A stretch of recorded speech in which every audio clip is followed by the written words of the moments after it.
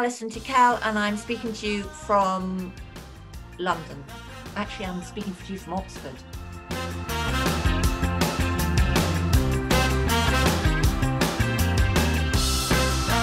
Hi, I'm Jessica. I'm coming to you today from New York. I'll do that again.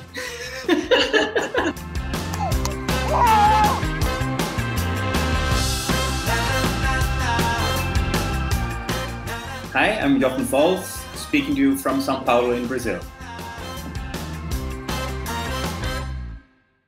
A very warm welcome, or rather snowy welcome, from Verbier. I am Anneliek Sijbrandij and I'm the founder of the Verbier Art Summit. Here in Verbier is the setting where I normally meet you and where I hope to meet you many more times. But this year it's different and we have to make do with a new, more virtual world. First of all, I would like to thank you for being here, virtually, and for being part of the Summit's ongoing mission to drive social change through art.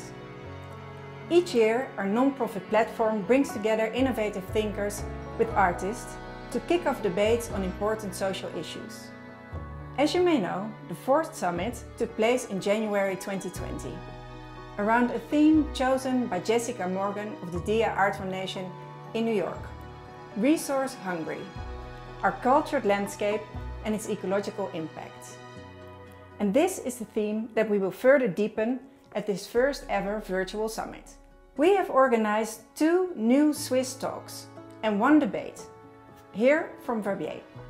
But we will also present one talk from Brazil and four international debates with former and new summit speakers coming from New York, Los Angeles, London, Sao Paulo, Cuiabá, Rome, Montana, Oxford, Amsterdam, Stockholm and Beijing. A new way forward. That was the hopeful message that came out of the 2020 summit. New ways of looking at the world. New ways of listening and new ways of understanding. For the summit itself, Great inspiration was found in the 2020 Resource Hungry theme and its accompanying publication, such as the beautiful writing by the Brazilian philosopher Djamila Ribeiro, who explains how in Brazil you cannot talk about ecology without also talking about racism and feminism, and that we need to listen to the young voices, as the youth seems to be much more clear that ecological action is needed now like we saw in the beautiful film by the American artist Andrea Bowers on the activist work of the powerful 16-year-old indigenous Tokata Iron Eyes, who stood up in the Standing Rock protest against the Dakota Access Pipeline.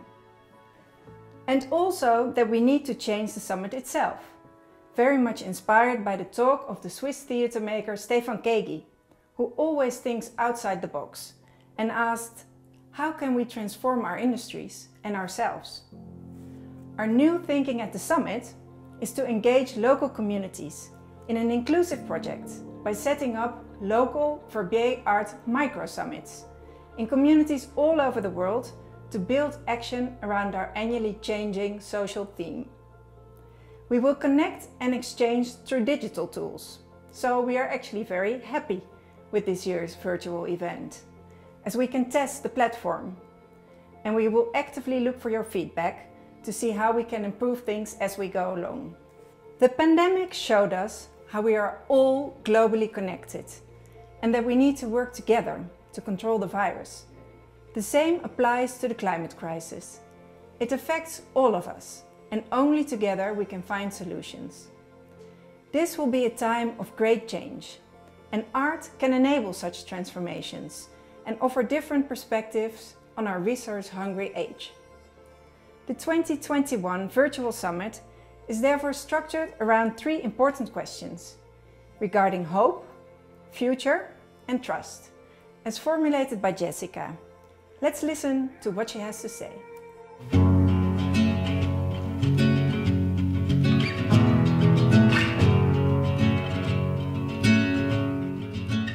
As has been pointed out by so many and far more eloquently than I, it's saddening that it took a virus to hold aspects of our culture that were destroying the environment And while we can momentarily be happy about the clear skies, birdsong, and green life returning to our cities, we have to simultaneously acknowledge what else has taken hold during this time.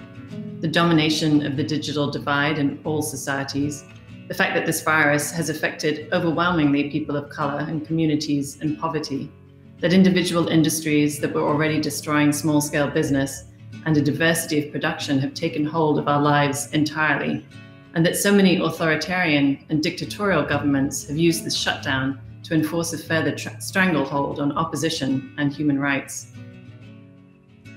The history of culture has been a history of marking the landscape, and the cultural field has acted as witness and often contributor to our ecological crisis. If anything, COVID 19 has made evident that the world is connected now more than ever through trade, technology, and culture, but it is also indelibly connected through air, water, and weather patterns that pay no heed to national and political boundaries. One can hope that a moment like this is a reset, an opportunity to reset. As we reopen, restart, resume, and return, can we do so differently, mindfully, and with an urgent consideration for those most affected by this disease who are and will be the most affected by climate change? Asked to summarize some of the points from 2020 that we learned I noted the following that we urgently need to learn from the light touch and holistic thinking of Indigenous cultures that have cared for the land for generations.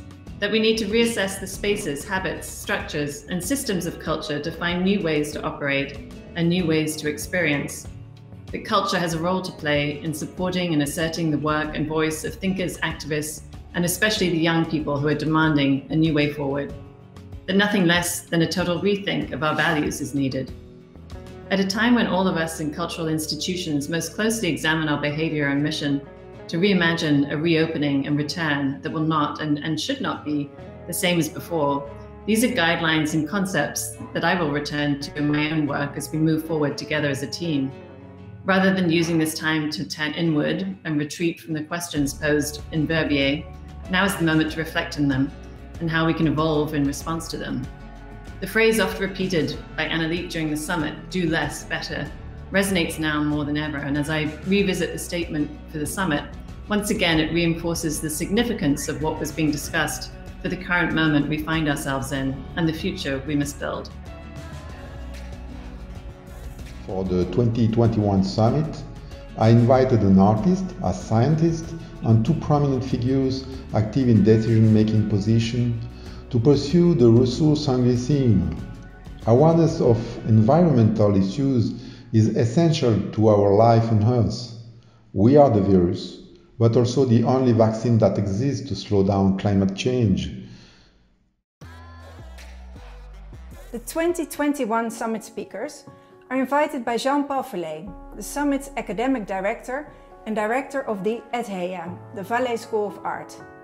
They include the Swiss artist Claudia Comte, Professor of Environmental Sciences at EPFL Tom Battin, and cultural leaders Hedy Graber, Head of the Cultural and Social Directorate at the Federation of Migros Cooperatives, and Madeleine Schuppli, Head of Visual Arts at the Swiss Arts Council Pro Helvetia.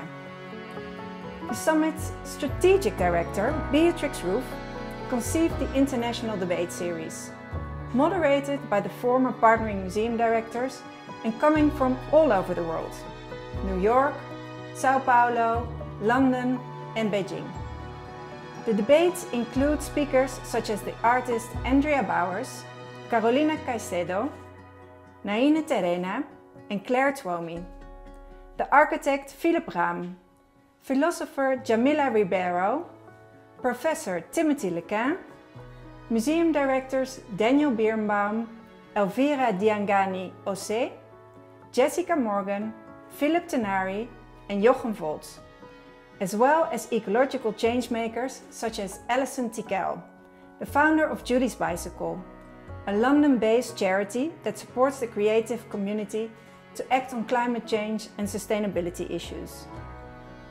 Each debate will feature once in our Live Now section and will be live streamed on social media at the same time, including a live Q&A with the panelists, so make sure to watch them.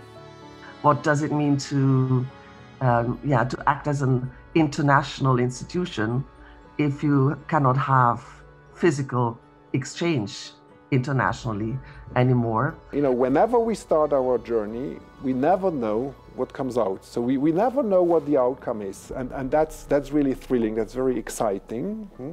And that's also how discoveries are being made, for instance. This is a, a dress rehearsal, so to say, yeah. for things that have to be developed over the next couple of years. And also a moment when the nations put enormous budgets into programs, they should also insist on change. A moment where the artist is not necessarily uh, at the at the top of a uh, of an of a pyramid. It's, it is one more in a in a let's say in a collective voice and a collective consciousness.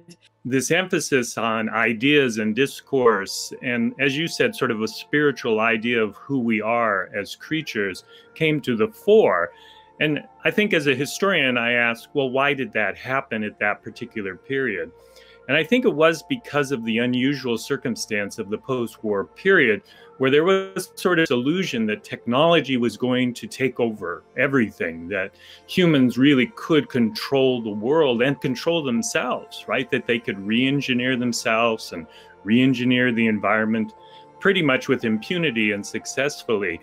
And that overweening sort of Promethean arrogance, I think, became the dominant idea and sort of filtered into the humanities as well. And people thought, well, it's what we think, it's what we, we can be whoever we want to be. At the height of the movement, there was 15,000 people there, all standing for the same thing and all standing there to protect the water.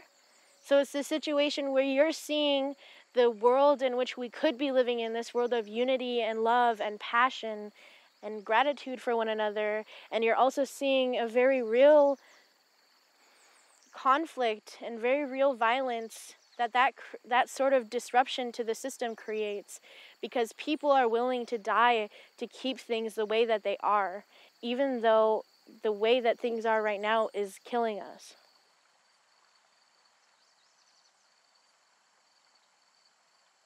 I mean, I think Standing Rock made me grow up a lot more than I probably should have. Because when you're in these situations of conflict and when you're in this situation of fighting constantly, you don't get to have a childhood because you have your purpose already.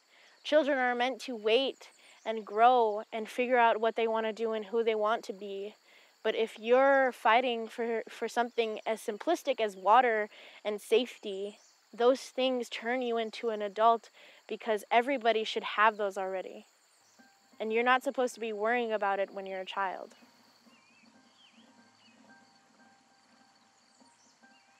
Standing Rock also gave me every single person that I have around me in my life right now. It's given me purpose and it's giving me a path to follow in a world that seems so crazy. Because even in this crazy time of climate crisis, I know that there's an opportunity for real unity around the entire globe to unite against this. Even in the worst of times, there's going to be a possibility for something better, and it's going to be real, and all it takes is for us to do our part. And don't forget to get inspired by our Arts and Ecology section, which shows you resource-hungry books, films, apps that you can download and games that you can play with your friends and family. At the end of your summit experience, we recommend you submit a pledge card telling us which of the summit actions you will undertake. Will you drive social change through art, community, action, debate, or through exchange? You can add a quote to explain in your own words how you will create impact against our resource-hungry era. But for now, we wish you an enjoyable summit and hope to learn about your pledge very soon.